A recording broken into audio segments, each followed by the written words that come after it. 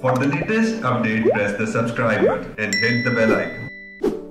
मैं डॉक्टर समीना अरशद हूँ और मेरी स्पेशलिटी गायनी एंड ऑप्स है और इनफर्टिलिटी में मेरा स्पेशल इंटरेस्ट है मैंने अपनी ग्रेजुएशन जो है वो रावलपिंडी मेडिकल यूनिवर्सिटी से की है और उसके बाद मैंने पोस्ट ग्रेजुएशन एम किया है पॉलीक्लिनिक हॉस्पिटल से सी से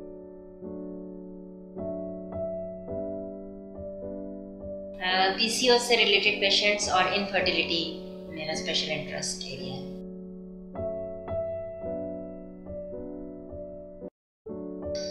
है रिगार्डिंग मेल इनफर्टिलिटी एक्चुअली सबसे पहले तो पेशेंट जो इनफर्टिलिटी के होते हैं, वो गायनाकोलॉजिस्ट फीमेल गायनाकोलॉजिस्ट ही को रिपोर्ट करते हैं आके और उसी में फिर हम जब उनकी इन्वेस्टिगेशंस करवाते हैं तो हमें सबसे पहला जो इशू होता है, वो हमें, क्योंकि मेल इनफर्टिलिटी जो है वो फोर्टी परसेंट कॉज करती है एक पेयर की इनफर्टिलिटी में। तो हम उसको सबसे पहले वो भी हम रूल आउट करते हैं और उसके बाद जो है वो हम फीमेल के ऊपर भी उनकी डिफरेंट इन्वेस्टिगेशंस करते हैं।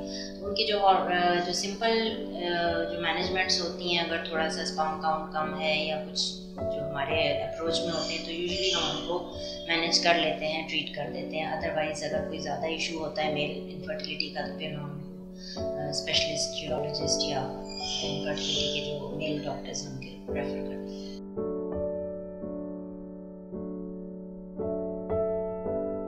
PCOS actually it stands for polycystic ovaries जो कि ऑलमोस्ट uh, आजकल one in ten girls and females में कॉमन है।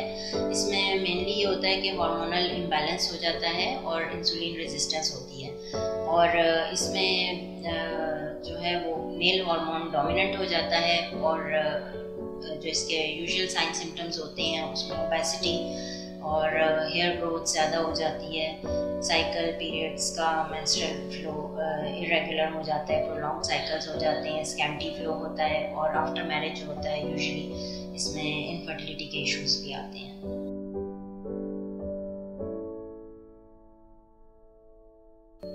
यूजुअली हमारे पास ऐसी लड़कियाँ आती हैं जिन्हें डिसमेनोरिया हम इसे कहते हैं, जिसमें पीरियड्स में एक्सक्रूशिएटिंग पेन होता है। कुछ पेन तो नॉर्मल होता है क्योंकि यूट्राइन कॉन्ट्रैक्शन होती है तो उसकी वजह से वहाँ पे जो मायोमीट्रियम होता है, जो मसल होता है इंट्रस का, उसका स्कीमिया हो जाता है। तो वहाँ पे फिर पेन की सेंसेशन जो होती है, वो ज़्यादा हो जाती है। लेकिन कुछ लोगों की फीलिंग्स या कुछ लोगों में बहुत ज़्यादा इसका देखा गया है कि होता है। तो यूजली इसमें ये है कि अगर तो हमें होम रेमेडीज से रिकवरी हो जाती है तो हमें बेस्ट तो यही है कि हम विदाउट एनी ट्रीटमेंट उनको मैनेज कर लें। जैसे हॉट ड्रिंक्स वगैरह ग्रीन टी और कुछ यखनी इस किस्म की चीज़ें ले लें रेस्ट कर लें।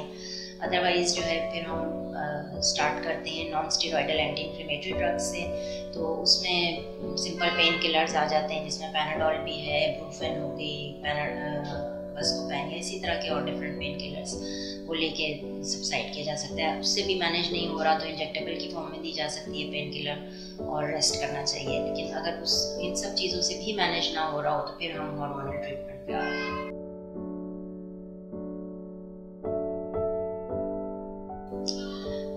हमारी सबसे पहली चॉइस तो यही होती है प्राइमरी ग्रेविडा जो कि फ़र्स्ट जिसका बेबी डिलीवर करने जा रही है पेशेंट तो हम उसको पहले से मेंटली प्रिपेयर ये नहीं करना चाहिए कि आपका सिजेरियन हो जाएगा अनलेस कोई ऐसी इंडिकेशन है जो कि कंफर्म्ड इंडिकेशन है जिसमें कि सिजेरियन किया जाता है, जैसे ब्रीच है बेबी उल्टा है, या कई दफ़ा प्लेसेंटा प्रीविया होता है, या कोई और ऐसे इश्यूज़ होते हैं जिनमें जो है वो किया जाता है सिजेरियन तो अगर हर चीज़ रेगुलरली एंटीनेटल करवाए गए हैं और फॉलो बिल्कुल रेगुलर हो रहा है, सारी चीज़ें ठीक है एनीमिया करेक्शन होता रहा है पेशेंट ने आपकी फीमेल ने जो प्रेग्नेंट हैं, उन्होंने आप सप्लीमेंट्स वगैरह नॉर्मल लिए हैं तो हम उनको हमेशा नॉर्मल ही की तरफ़ लेके जाते हैं। तो उसमें उनके लिए बेहतर ये है कि एक तो वो अपना बैलेंस डाइट लें और जो प्री नेटल एक्सरसाइजेस होती हैं, वो ज़रूर करें मोबलाइज रहें एक्टिव रहें और जो है उनको थोड़ा सा ये भी आइडिया होना चाहिए कि पेन्स को बेयर करना है। कई लोग स्ट्रेस में या एंजाइटी में पेन के खौफ से ही वो पहले से ही अपना माइंड बना लेते हैं कि हमने सीरियन करना है और उस पेन को फिर बेयर ही नहीं कर पाते हैं जब लेबर में जाते हैं। तो ये थोड़ी सी चीज़ें उनको मैनेज करनी चाहिए। इसके अलावा कुछ जो उनके अटेंडेंट्स होते हैं, वो भी उनको मिस गाइड कर रहे होते हैं। तो हमें वो थोड़ा सा वो चीज़ भी देखनी चाहिए। बेसिक तो यही है कि अगर आपके पास पेशेंट रेगुलरली एंटीनेटल आप ही के पास आ रही है तो एक तो उसको यही comfort she will feel comfortable that you will be the doctor there अगर आपके साथ कंफर्टेबल एंड नेचुरली भी फील कर रही है तो ऑब्वियसली ड्यूरिंग लेबर भी। उसमें यह है कि आप पेशेंट को एंजाइटी और स्ट्रेस से बचाएँ, उनको मतलब ज़्यादा डराए नहीं कि जी पेन बहुत होगा और ये होगा, वो होगा। तो मेंटली वो पेशेंट जब स्ट्रेस में होती है और एंजाइटी में होती है तो उसका प्रोग्रेस भी वो स्लो हो जाती है। तो आप एक तो उनको मोबिलाइज उस टाइम पे भी रखें पेशेंट को time to time urine pass करने का भी कहें, ताकि उनका थोड़ा सा हेड इंगेज हो प्रोग्रेस अच्छी हो मोबाइल रहें। उनको वैसे आपकी उनके साथ एम्पथी आप रखें नॉट सिंपथी बट एम्पथी के साथ आप उनके साथ बिहेव करें।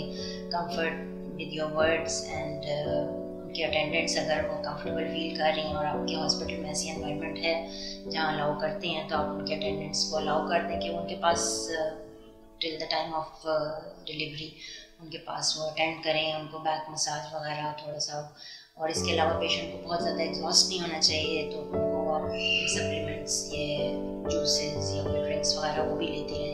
ताकि उस टाइम पे बिल्कुल एग्जॉस्ट ना हो जाए और मोर मोस्ट इंपॉर्टेंट यही है कि आप उनके साथ uh, आपका अपना बिहेवियर जो है डॉक्टर का वो कंफर्टिंग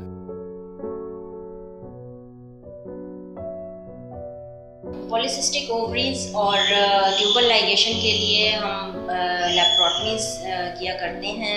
स्टिल अभी भी की जाती हैं कई जगहों पे, लेकिन जहाँ पे अब लेटेस्ट टेक्नोलॉजी है लेप्रोस्कोप अवेलेबल हैं तो पॉलिसिस्टिक ओवरीज के लिए ओवेरियन ड्रिलिंग के लिए हम लेप्रोस्कोप इजीली यूज़ कर सकते हैं। इसी तरह लेप्रोटमी को अवॉइड करने के लिए मिनी लैब जो ट्यूबलाइजेशन के लिए की जाती है, उसके लिए भी हम लेप्रोस्कोप यूज़ कर सकते हैं। लेप्रोस्कोप के लिए का ये बेनिफिट है कि ये लेप्स इन्वेसिव है, यानी कि कम डैमेज होता है और इसमें रिकवरी भी जो है पेशेंट की वो बहुत जल्दी हो जाती है within a week otherwise laparotomy में तो थ्री टू फोर वीक्स में पेशेंट की रिकवरी होती है। तो ये हमारे पास अब न्यू टेक्नोलॉजीज़ हैं जो हम इनको यूज़ कर रहे हैं। Max health hospital G eight Markaz में है लोकेटेड और बहुत अच्छा माशाल्लाह ये सेटअप है और मुझे यहाँ काम करते हुए ऑलमोस्ट थ्री इयर्स हो गए हैं। And I rarely found any uh, mishap or anything here.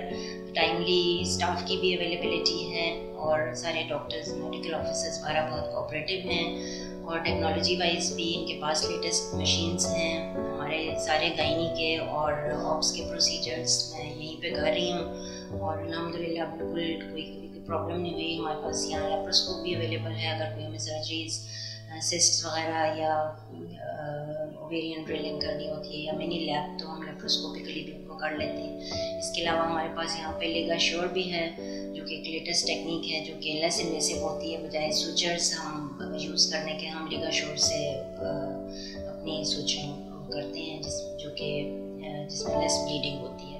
Bleeding के बहुत कम चांसेस होते हैं, बड़ी वेसल्स वगैरह को सेटअप है ट्वेंटी फोर आवर सर्विसेज़ हैं। यहाँ पे सारी हम गायनी और ऑप्स की सर्विसेज़ दे रहे हैं। ओ पी डीज़ हैं आई पी डी है एंटीनेटल फैमिली प्लानिंग इवन मैं यहाँ पे आई यू आई जो कि लेटेस्ट टेक्निक है इनफर्टिलिटी के हवाले से इंट्रायूट्राइन इंसेमिनेशन वो भी मैं प्रोसीजर्स यहाँ पे मैं यहाँ पे मैक्स हेल्थ हॉस्पिटल में अवेलेबल हूँ। मेरे टाइमिंग्स टू थर्टी से फोर थर्टी तक हैं यूजली लेकिन अगर मतलब अगर कोई एमरजेंसी हो तो मैं एनी टाइम अवेलेबल होती हूँ मैक्स हेल्थ हॉस्पिटल में, और मरहम के थ्रू आप मुझसे बुकिंग करवा सकते हैं। कोई भी गाइनी ऑप्स या इनफर्टिलिटी इनफर्टिलिटी से रिलेटेड आपके इश्यूज़ हों तो आप ज़रूर कॉन्टेक्ट कर सकते हैं, इंशाल्लाह। मैक्स हेल्थ हॉस्पिटल में आपको सारी सर्विसेज़ प्रोवाइड होंगी।